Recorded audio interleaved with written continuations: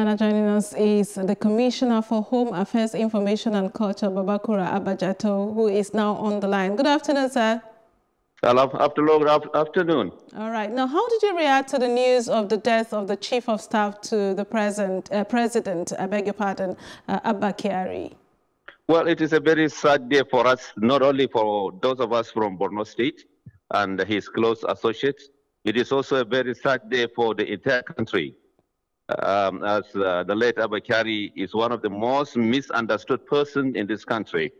And I think Nigerians will come to know what he stands for and what he has done for Nigeria since he is no more. Mm. How would you describe the late chief of uh, staff uh, uh, and his disposition to the affairs of, you know, Borno State also? Uh, you know, he is a Nigerian person. Uh, he's not localized uh, in the sense that he is a high-class uh, technocrat, a high-class civil servant, and then well-educated. From his primary school up to secondary school, he has been a first-class student, uh, a graduate of Warwick University, as well as Cambridge, and as well as the Harvard School of Business Studies. Studies. So I think these are some of the qualifications that one needs, uh, you know, to put the country in the right position. In addition to that, he is a one person encapsulated with many. Uh, for instance, uh, he studies uh, psychology, I mean, uh, sociology in his first degree, and then he read law, and at the same time he went to the, uh, you know, um, Harvard School of Business Studies also. He was a journalist, he was a banker, he was a politician, and is a technocrat par excellence. Yes. Mm. Mm.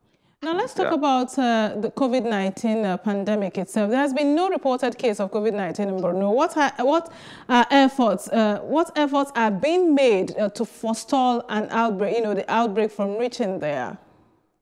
Right now, as you call, you are calling me. I am at the border between Borno uh, and Yobe, uh, along with the, His Excellency the Deputy Governor of Borno State, Umar Usman Kadafur, along with the members of the COVID-19 uh, response and containment committee. Uh, as, as a state, we have taken everything humanly possible to keep the COVID-19 at bay. Uh, what we are now doing is that we don't want an influx of people from areas where the disease uh, has, you know, escalated. Uh, because uh, we don't know what they are coming in with.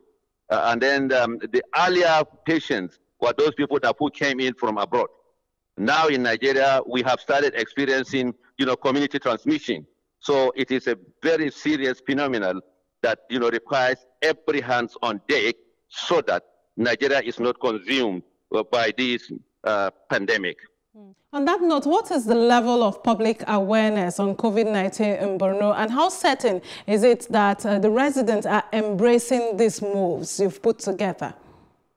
Well, there is a very high level of enlightenment going on. Uh, first and foremost, at the first stage, what we, what we did was that we restricted the number of people that can be, you know, commuted by either a, a car, a bus, or the rickshaw, auto rickshaw, which is um, in local parlance known as uh, keke NAPEP.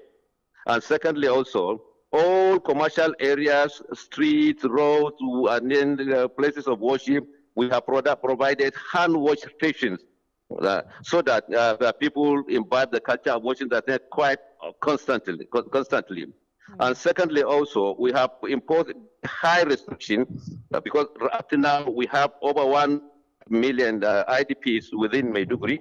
So these are vulnerable group and they need to be protected. Uh, in addition to that, uh, there is also, um, we pray that it doesn't happen we have an isolation center, uh, and then uh, ready personnel should there be uh, an outbreak as every other fellow in this world is doing. Mm. Honorable Commissioner, thank you for your time. You're welcome. Thank you.